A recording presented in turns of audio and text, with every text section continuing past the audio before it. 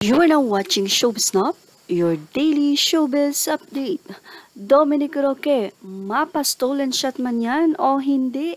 Eh talaga namang napakagwapo nito. Narito ang ilan sa mga photos ni Dom na kung saan ay stolen at nakakatuwa ang naging komento ng mga fans.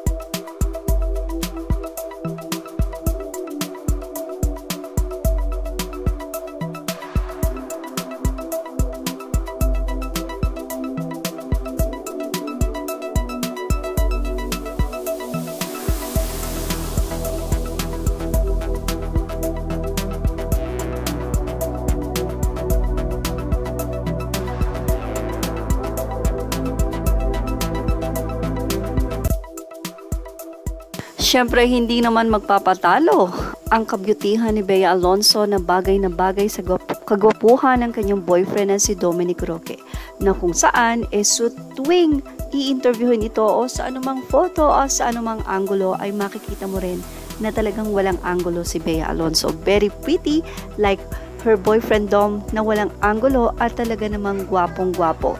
Kamakailan lamang ay sobrang nagtrending nga sa social media ang naging post ni Bea Alonso kung saan ay kinis niya ang boyfriend na si Dominic Roque.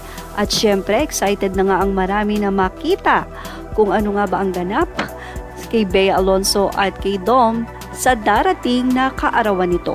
Excited na nga ang mga fans na makita kung ano nga ba ang magiging adventure ni Bea at nitong si Dominic. Samantala na dito naman ang ilang photos or screenshot photo ni Bea Alonso sa interview niya sa iOS, AOS na kung saan eh talaga namang stunning na stunning si Bea.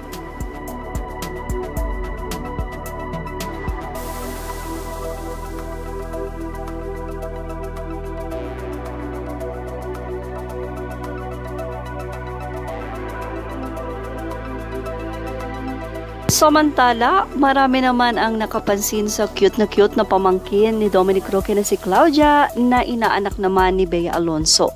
Very sweet ang smile nito na kamukhang kamukha ng smile ng kanyang tito Dom. Well, Bea, anong masasabi mo sa sinabi ni Dom na gusto na rin niyang magka-baby? Yan ang ating Showbiz Snap update. Images are all credit to the rightful owners and thank you for watching Showbiz Snap.